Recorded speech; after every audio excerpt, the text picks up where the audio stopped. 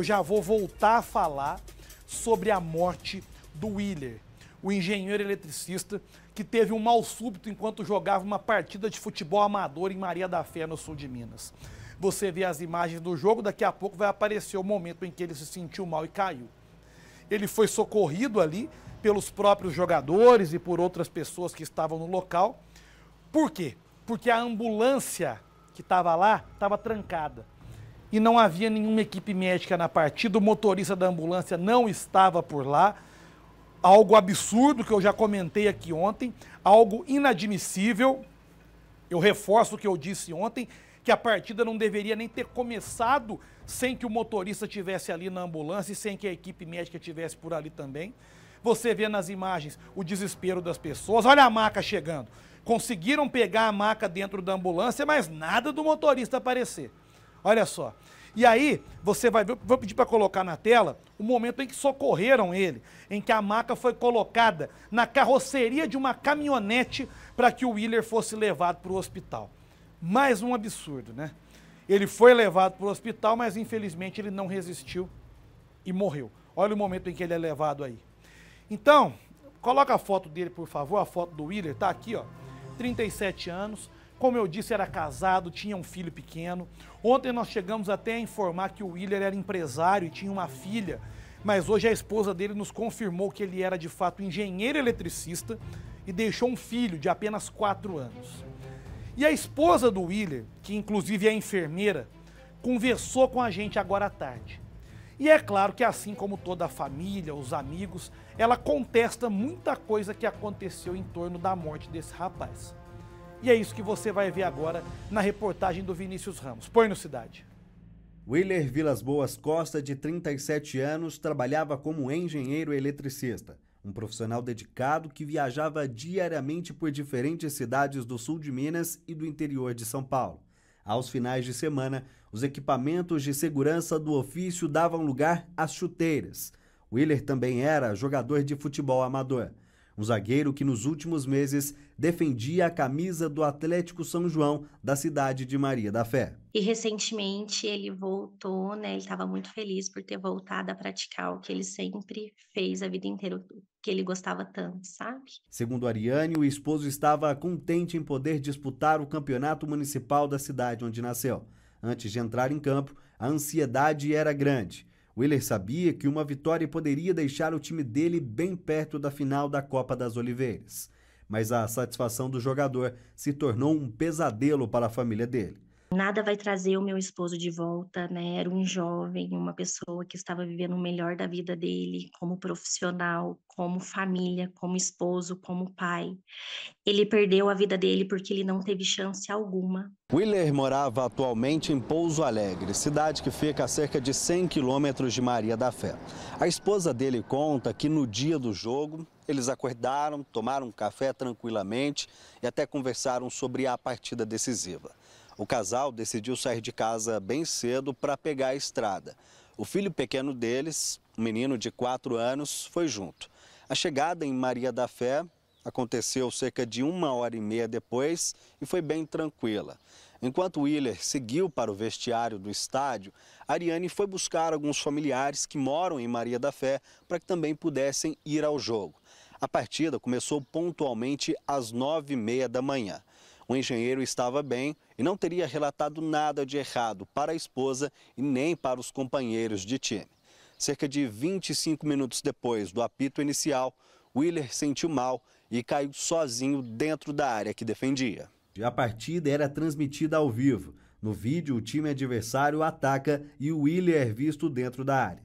É neste momento que o árbitro paralisa a partida. Outros jogadores percebem que a situação não era corriqueira de jogo e correm para prestar socorro.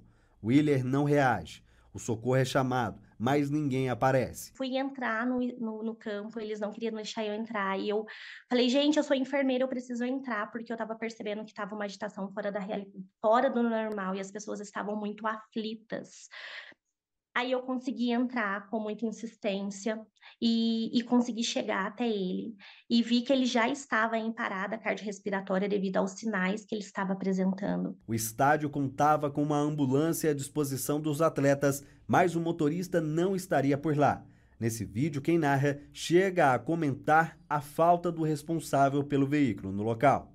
Dudu, e não tem ninguém na ambulância, Dudu. Desesperados, os próprios jogadores conseguiram abrir a porta da ambulância, mas, segundo Ariane, Nela não havia equipamentos necessários para os primeiros socorros. Era uma ambulância comum, sem nenhum suporte, não tinha um DEA no local. Isso é uma legislação pública. Locais aonde, é, aonde tem um fluxo grande de pessoas é obrigatório ter o desfibrilador automático. Consta no boletim de ocorrência que o motorista da ambulância estaria em um bar a poucos metros do estádio. A organização da Copa confirmou à Rede Mais que o homem não estava presente no local na hora em que ele mais precisava estar. Sem poder contar com a equipe de socorristas, pessoas que acompanhavam a partida decidiram levar o Willer para o hospital na caçamba de uma caminhonete. Olha como que o cara está sendo é, transportado, pessoal.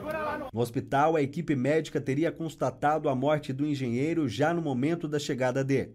A alegação era de que já não havia mais nada o que ser feito. Eu fiquei implorando e falando para eles, gente, desfibrila ele, faz as drogas vasoativas, citei o nome das drogas, os volumes das drogas que tinha que ser infundido devido à minha experiência, à minha vivência. Para chegar a essa conclusão, a esposa do jogador teria feito a própria avaliação do caso. Vários detalhes teriam a levado a acreditar que Wheeler poderia sim ter sido salvo. Procedimentos que, segundo ela, são básicos no socorro a uma pessoa em parada cardiorrespiratória. Quando você atende um paciente, independente de quanto tempo ele está em parada, quanto tempo ele chegou, era um paciente jovem, era visível que era um paciente jovem, ele tinha que ao menos ter iniciado o protocolo de PCR para ele. A principal suspeita é que o engenheiro tenha sofrido um infarto. Willer não tinha problemas de saúde pré-estabelecidos e, segundo a esposa, nunca se queixou de dores ou algo semelhante. Ele veio muito bem, ele estava em